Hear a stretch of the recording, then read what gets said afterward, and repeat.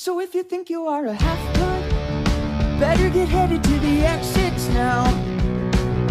Cause folks will think you're lying, better run and don't start crying cause you're monster chow. Stick around and maybe you'll learn from me.